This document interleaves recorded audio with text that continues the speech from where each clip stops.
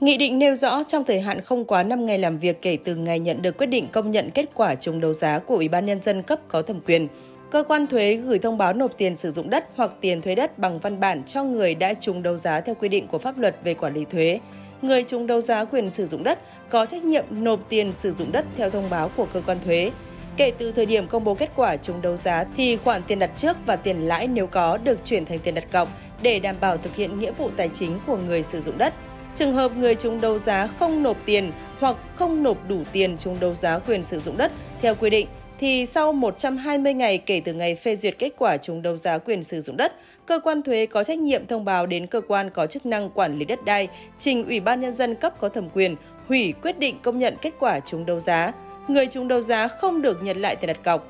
Đối với trường hợp người trúng đấu giá đã nộp nhiều hơn khoản tiền đặt cọc thì được nhà nước hoàn trả số tiền chênh lệch nhiều hơn so với số tiền đặt cọc sau khi đã nhận được thông báo của cơ quan thuế về việc người trúng đấu giá đã hoàn thành việc nộp tiền sử dụng đất, tiền thuế đất, cơ quan có chức năng quản lý đất đai thực hiện các công việc quy định tại khoản 5 điều 229 luật đất đai.